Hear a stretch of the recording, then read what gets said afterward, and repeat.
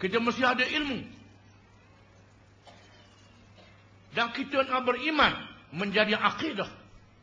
Akidah perjuangan. Tajuk kita. Akidah dan perjuangan. Apa makna akidah?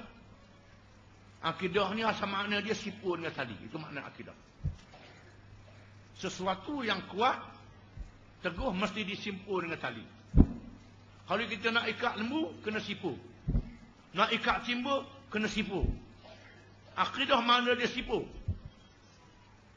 Sipu di sini adalah sipu iman, sipu kepercayaan kita. Bagaimana nak menyimpulkan akidah perjuangan ni? Mesti kita tahu apa perjuangan kita, iaitu perjuangan Islam. Di dalamnya ada politik, kita kena tahu. Kemudian nak kuatkan akidah mesti beramal. Beramal di antaranya amalan yang biasa kita kena buat. Hubungan kita dengan Tuhan kena kuat.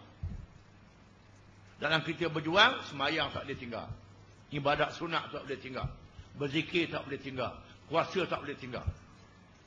Kerana perjuangan kita memerlukan pertolongan Allah. Tuhan jadikan perjuangan Islam ni, orang dia tak ramah. Musuh lebih ramah. Tapi Allah Ta'ala beri pertolongan.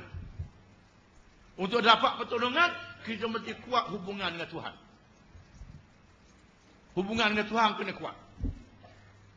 Ibadat kita kena kuat. Kerjasama kita kena kuat. Dan kebajikan kita kena kuat.